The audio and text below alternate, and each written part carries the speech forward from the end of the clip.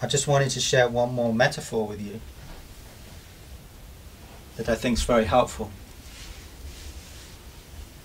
and can be a good reminder at any moment of this uh, mind blowing, isn't it? Mind blowing? It's completely incredible. This is, you see, reality, the truth of our existence is absolutely incredible. It's amazing beyond belief. It's, it couldn't be more mind blowingly incredible. What a gift! What a revelation.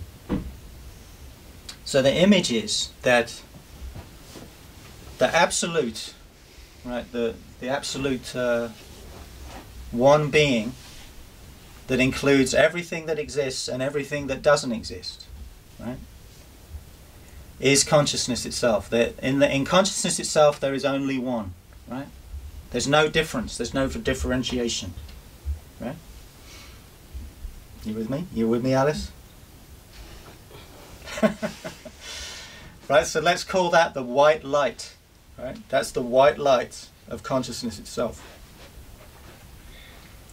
Now, when the white light of consciousness itself, when you let go, when you let go and re- when you realize this is a ridiculous idea, that I am just this small, miserable, contracted, oh my God, why do I want to be that?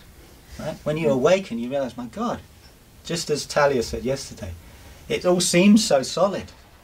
Right? You realize it's completely nothing at all.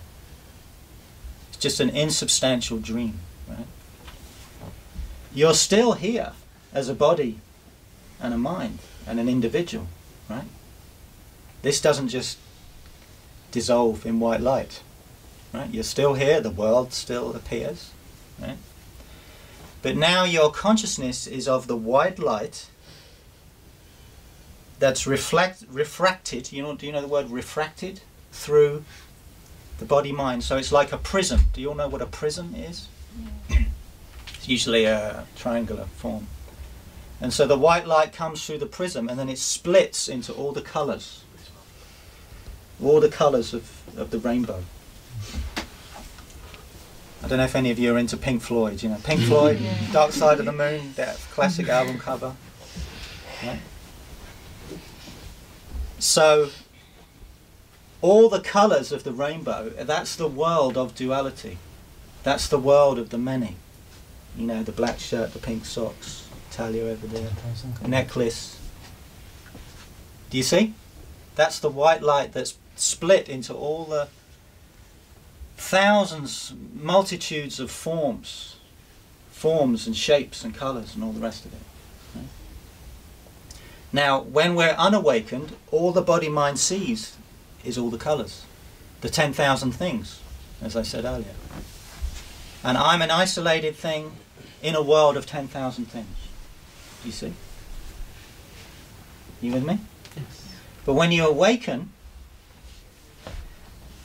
the 10,000 things are still there, but you see, you recognize, you know, there's only one thing. This, this is all a modification of the one being, the one consciousness that you are. right? It's all a modification ultimately of myself.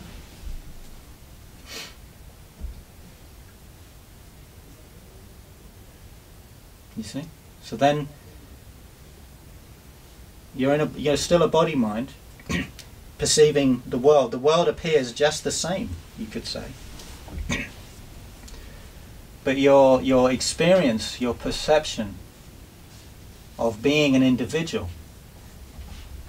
is radically different. You see? You're still an individual, but now you're an individual expression of that which is indivisible, that which is one.